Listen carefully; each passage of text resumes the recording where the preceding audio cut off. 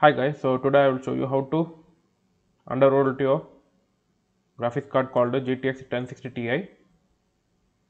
So before we begin, please like the video and subscribe the channel for more videos like this. So let's continue. First of all, you need a GPU benchmark software and a GPU overclocking software. For that I am using Valley benchmark and for GPU overclocking I am using after, MSI Afterburner. To download those, just go to Chrome and type Valley benchmark. Then you will have to click on the first link you get. Then click on free download. That's it. Then when it comes to overclocking utility, I am using MSI Afterburner. Then click on Afterburner, download Afterburner. That's it then save it you will get the software. So after downloading both the softwares open MSI afterburner. Yes. Then go to settings. Here you have to click on these three check marks and apply. Then the change you have to click on yes. This will reset the software. Now you have to go to your benchmark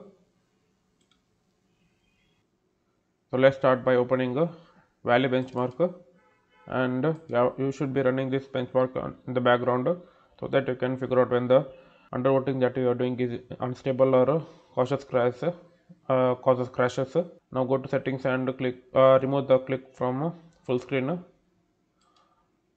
to windows mode so that you can minimize and access MSI afterburner or gpu overclocking ability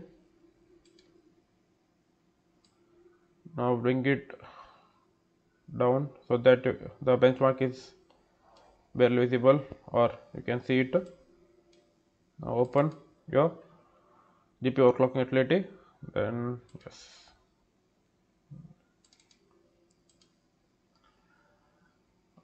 Now click on curve editor. Now you should reduce about minus 200 from core clock MHZ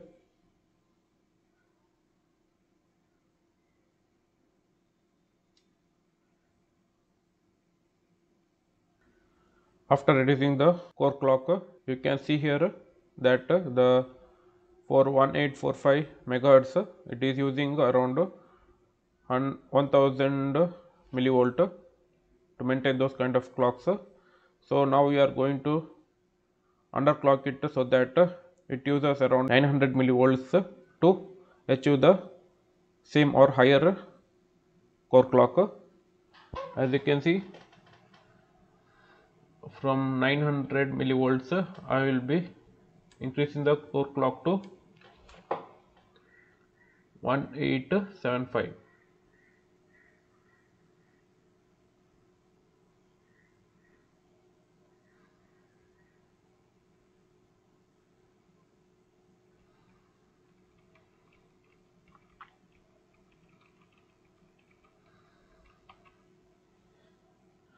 then apply. You have to do it multiple times because sometimes the undervolting that you're doing will not be applied.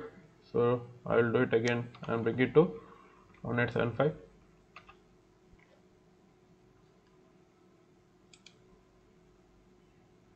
okay.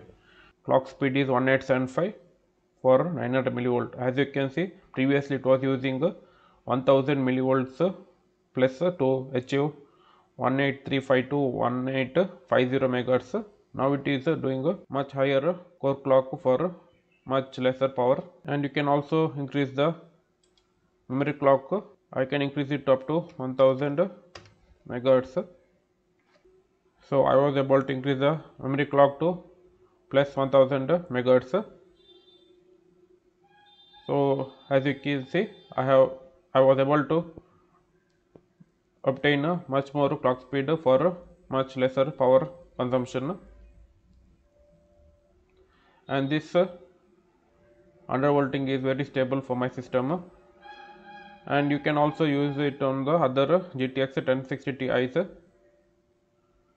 If it doesn't work just uh, do, uh, do some minute changes uh, with these settings. You will be able to reach the same settings or be able to even reach higher settings or you might be able to reach the lower settings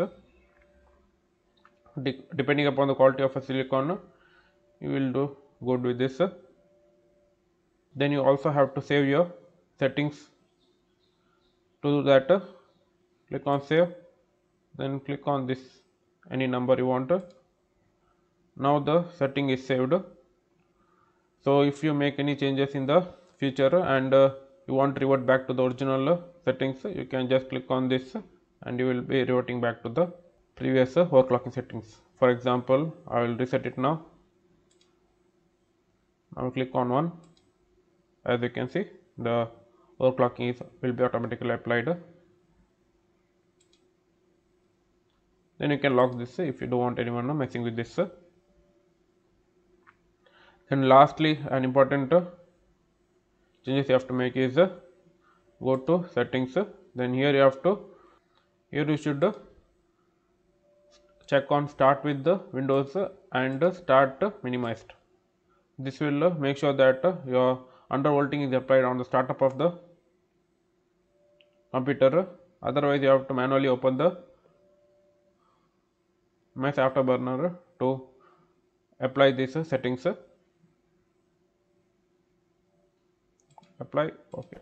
So that's all about this and if you like the video please like the video.